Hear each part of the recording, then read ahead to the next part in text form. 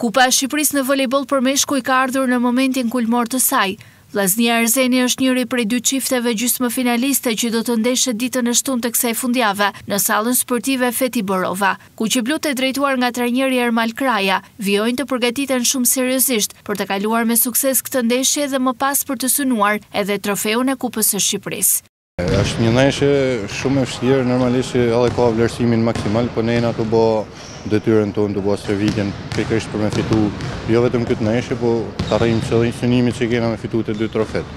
Ndeshja është është një ndeshje shumë shumë e vështirë, po shpresoj edhe besoj që do t'ia dalim me sukses. Forma ma e mirë normalisht që unë mendoj që nuk ka ardhë halo, pasi janë dy lojtarë t'huj të cilët kanë ardhë edhe ne kërkojmë që lidhja e ekipit të jetë perfekte ka, ka play-offi, po besoj që edhe në këta momente forma është shumë e mirë e ekipit, pavarësisht se halo nuk është në 100%-shin e vet. Ballafaqimi tjetër gjysmëfinal është ai në mes Partizanit dhe Tiranës, për të cilin trajneri Kraja komenton. Edhe ndeshja tjetër, Partizani me Tiranën është ndeshje e fortë, e cila unë s'di ça të tham, të dyja munen për me fitu, të dyja munen me kenë në finale.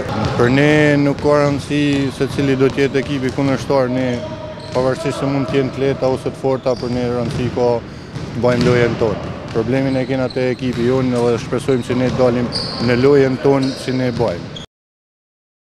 Fituesit e këtyre dy gjysmëfinaleve, Vllaznia-Erzeni dhe Partizani-Tirana, do të ndeshen më pas mbrëmjen e së dielës në finale, për të përcaktuar ekipin fitues të Kupës së Shqipërisë.